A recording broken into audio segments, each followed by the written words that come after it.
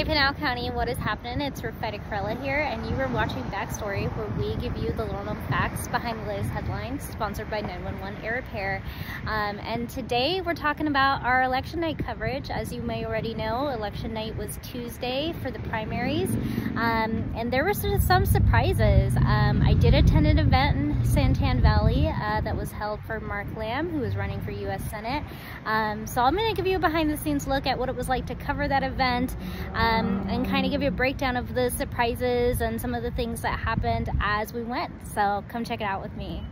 For many local politicians running for election, Tuesday night was a big night as it was the Arizona primary a lot of different gatherings were held around the county by candidates who were running for office um, and looking to kind of just keep a bead on election results as they came in. And among those was the election night event held at the Big Tin Cotton Gin um, in Queen Creek by Pinal County Sheriff Mark Lamb. Lamb was running for the position of U.S. Senator against Republican opponent Kari Lake. Um, and there were a few other people in attendance as well, um, including Kent Volkmer, who was seeking re election to the position of county attorney, um, and Ross Teeple, who Lamb had picked to replace him as the head of PCSO um, in this year's election.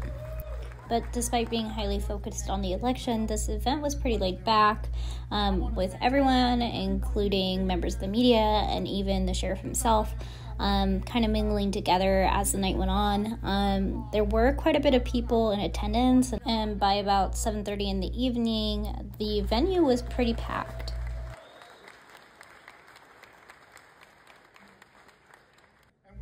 While we're pretty used to tracking election results throughout the night um, on election nights here at Pinal Central, um, this was my first time ever attending a, an event where lots of other people were there to do sort of the same thing.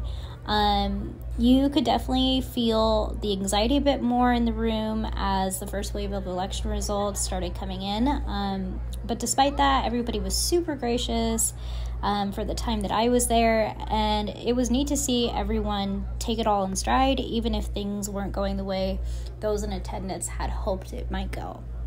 All right, thanks so much for joining us again on Backstory. As always, if you liked this video, make sure you like and follow us on Instagram for more incredible coverage. And make sure you subscribe to Pinal Central for the latest in local Pinal County news. Um, we've got everything there from the election uh, to local features and sports and more. So definitely um, keep supporting local journalism and we'll see you guys later. Bye.